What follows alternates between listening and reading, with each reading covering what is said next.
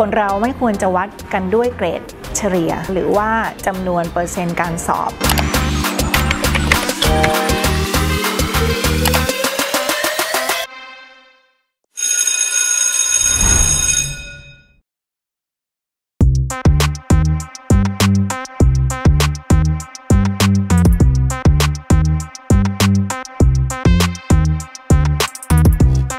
ศึกษาไทยปัจจุบันเนี่ยไม่สามารถตอบโจทย์เศรษฐกิจที่ต้องเดินไปอย่างรวดเร็ว คือ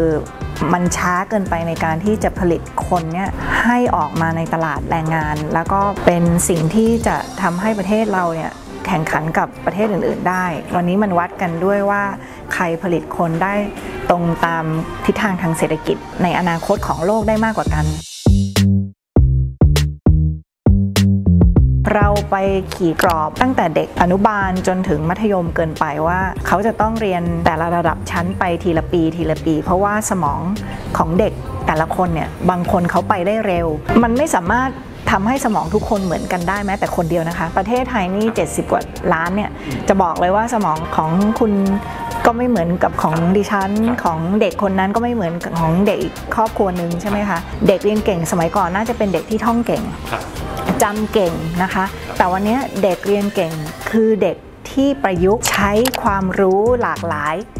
วิชาแล้วไปแก้ปัญหาได้นะคะ โลกมันเปลี่ยนไป มันล้าสมัยตรงกระบวนการมากกว่า กระบวนการในห้องเรียนนะคะ ตรงที่ว่าครูอะ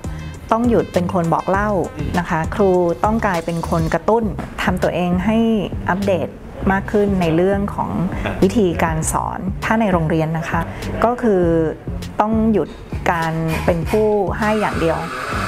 น่าจะต้องพัฒนาตัวเองให้เป็นผู้เรียนรู้จากนักเรียนบ้างบอกตรงเคยเป็นครูมาก่อน การที่จะเป็นครูที่รู้จักตั้งคำถาม และค่อยๆตะล่อมเด็กให้เข้าสู่จุดหมายปลายทางที่เราอยากให้เด็กรู้ได้เนี่ยมันยากกว่าการมานั่งเปิดหนังสือแต่ละหน้าแล้วให้เด็กเรียนไปตามหน้านั้นหน้านั้นเนี้ยแล้วก็ทั้งนั่งทำแบบฝึกหัดแต่ที่ต้องการก็คือแยกแยะให้ถูกว่าอันไหนเป็นข้อเท็จจริง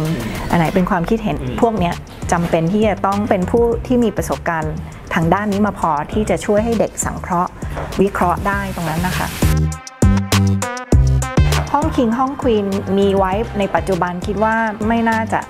คงไว้ในแง่ที่ว่าคนเราไม่ควรจะวัดกันด้วยเกรดเฉลี่ยนะคะ หรือว่าจำนวนเปอร์เซ็นต์การสอบ ต้องเรียนแบบสหวิทยาการนำความรู้ที่หลากหลายนะคะ แล้วเอามาแก้ปัญหาผลิตเด็กยังไงให้เขา